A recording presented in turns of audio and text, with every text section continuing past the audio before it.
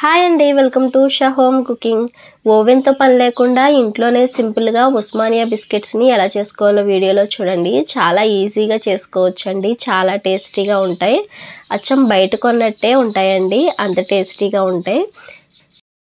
ముందుగా వంద గ్రాముల బటర్ని తీసుకుని ఒక బౌల్లో వేసుకుని బటరు రూమ్ టెంపరేచర్కి వచ్చిన తర్వాత ఒకసారి కలుపుకోవాలండి.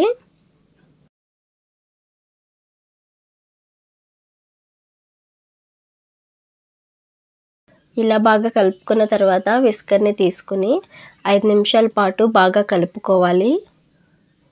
స్మూత్ పేస్ట్లా వచ్చే వరకు బాగా కలుపుకోవాలి.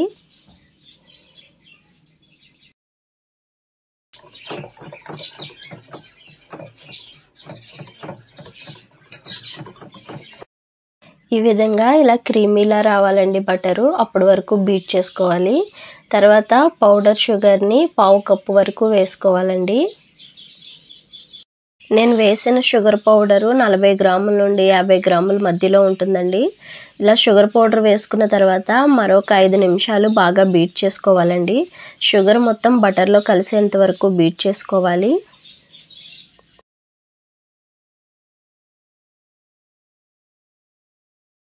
షుగరు బటర్లో బాగా కలిసేంత వరకు బీట్ చేసుకున్న తర్వాత జల్లెని పెట్టుకుని ఒక కప్పు మైదా వేసుకోవాలండి. ఒక కప్ అంటే నూట ముప్పై గ్రాముల వరకు మైదా వేసుకున్నానండి.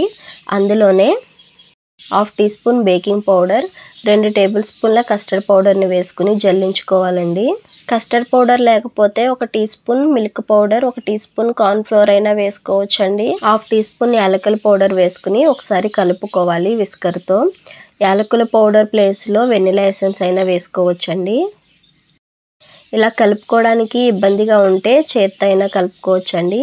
ఫస్ట్ ఇలా కలుపుకొని పిండిలో బటర్ బాగా కలిసిన తర్వాత చేత్తో బాగా కలుపుకోవాలి. ఉస్మానియా బిస్కెట్స్ సాల్టీగా ఉంటాయి కాబట్టి కొంచెం సాల్ట్ వేసుకోవాలండి. మరీ ఎక్కువ వేసుకోకూడదు. కొద్దిగా సాల్ట్ వేసుకుని బాగా కలుపుకోవాలి.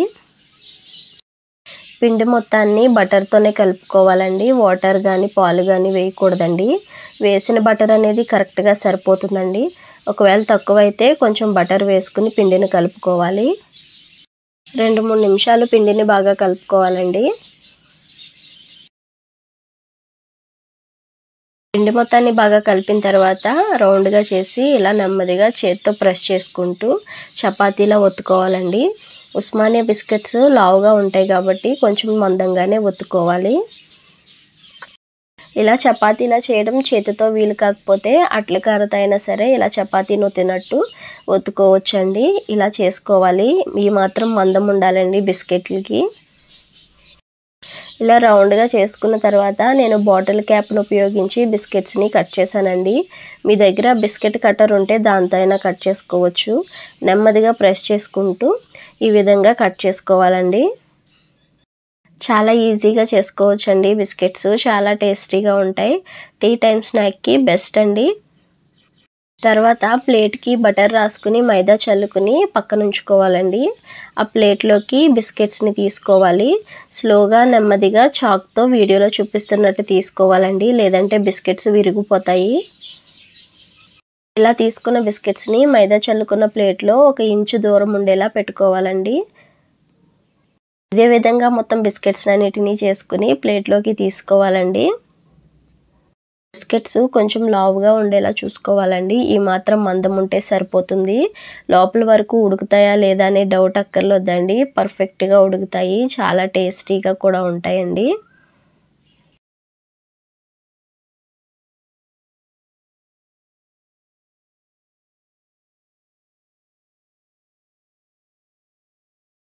ప్లేట్కి సరిపడా బిస్కెట్స్ పెట్టుకున్న తర్వాత ఒక బౌల్లో ఒక టీ స్పూన్ కస్టర్డ్ పౌడర్ తీసుకుని అందులో కొంచెం పాలు వేసి ఉండలు లేకుండా కలుపుకొని బ్రష్తో బిస్కెట్స్ పైన అప్లై చేసుకోవాలండి.